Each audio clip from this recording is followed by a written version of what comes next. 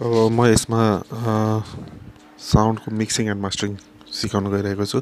सबभन्दा पहिला हाम्रो यो एरेन्जिङ सबै भ्याइसकेपछि भोकल र सबै रेकर्डिङ गरि भ्याइसकेपछि अब यसलाई पहिला हामीले मिक्सरमा गएर साउन्डको एडिटिङ गर्नुपर्ने हुन्छ।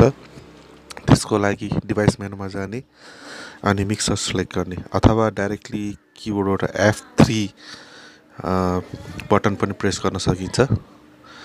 त्यो क्लिक गर्ने बित्तिकै तपाईँहरूले यो देख्न सक्नुहुन्छ विभिन्न अडियो ट्र्याकको सेपरेट फेडरहरू र इफेक्ट प्यानलहरू देख्न पाउनुहुन्छ जस्तै यहाँ केही इन्स्ट्रुमेन्टहरूको मैले तपाईँलाई एक एकवटा सेलेक्ट गर्दै देखाइरहेको छु। सबै यहाँबाट सेपरेटली तपाईँले भोल्युमहरू आफूलाई चाहिए अनुसारले मिक्सिङ गर्न सक्नुहुन्छ। यो सुरुको जुन प्यानल देख्नुहोस् यो प्यान प्यानल हो यसलाई लेफ्ट राइट जुन साउन्डलाई लेफ्टमा बजाउने कि राइट स्पिकरमा बजाउने यो स्टुडियो इफेक्टहरूको लागि बढी युज हुन्छ। मोनो लाई सेन्टरमा राखेर काम गर्दा हुन्छ यसको लागि।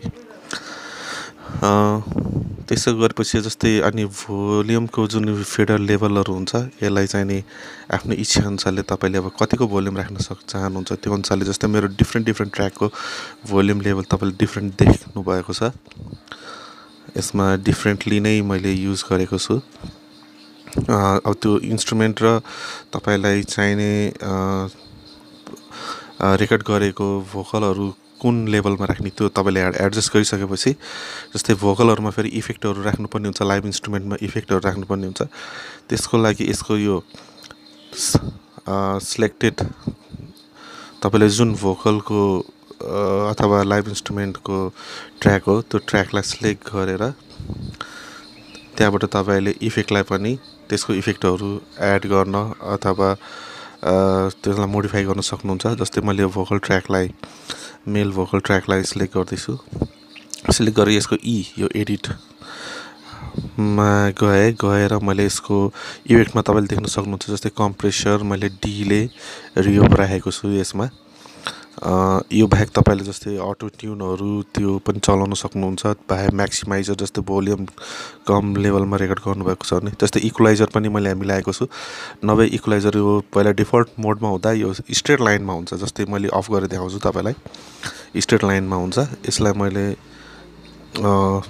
आफ्नै इच्छाअनुसारले एडिट गरेर मिलाएको छु। यो बेस ट्रिबलहरू मिलाउनुको लागि उपयुक्त हुन्छ यदि सबै भ्याइसकेपछि तपाईँको मिक्सिङ मास्टरिङ सबै लगभग काम फाइनल भइसकेपछि तपाईँले यसलाई एक्सपोर्ट गर्नुपर्ने हुन्छ। एक्सपोर्ट भनेको एउटा अडियो ट्र्याकमा एक्स निकाल्ने हुन्छ।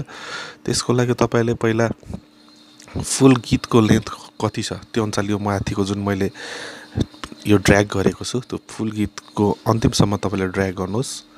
अनि सिलेक्टेड च्यानलहरूलाई म्युट राख्नुपर्ने च्यानल म्युट राखेर तपाईँले फाइल मेनुमा गएर यो एक्सपोर्टमा चाहिँ नि अडियो मिक्स डाउन सेलेक्ट गर्ने।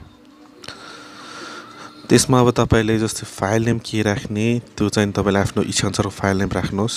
त्यसपछि त्यस्तै अब कुन लोकेसन जस्तै मैले डेस्कटप सेलेक्ट गरेको छु मैले डेस्कटपमा फाइल राख्दा सहिलो हुन्छ भनेर डेस्कटप नै रोजेँ। त्यसै स्टुडियोमा युज गर्ने हो भने तपाईँले वेब सेलेक्ट गर्न सक्नुहुन्छ वेब फर्मेटमा नभए तपाईँले यतिकै मोबाइलमा बजाउने अथवा फेसबुकहरूमा अथवा युट्युबहरूमा बजाउनको लागि एमपी थ्री सेलेक्ट गर्नुहोस्। एमपी थ्री युज गरेर यसलाई सबैभन्दा हाई क्वालिटीमा टिक लगाएर त्यहाँ सिलेक्ट पनि गर्न सक्नुहुन्छ अथवा यसलाई टिक नलगाइकन तपाईँले जुन हाम्रो बाइट रेटको यो छ यसलाई म्याक्सिममा राख्नुहोस्। अनि स्याम्पल रेटलाई चौवालिस एक्सएमा राख्नुहोस्। गरेर यसलाई एक्सपोर्ट गर्न सकिन्छ।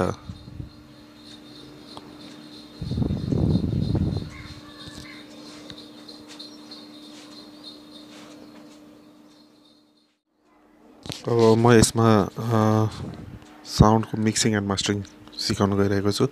सबभन्दा पहिला हाम्रो यो एरेन्जिङ सबै भ्याइसकेपछि भोकल र सबै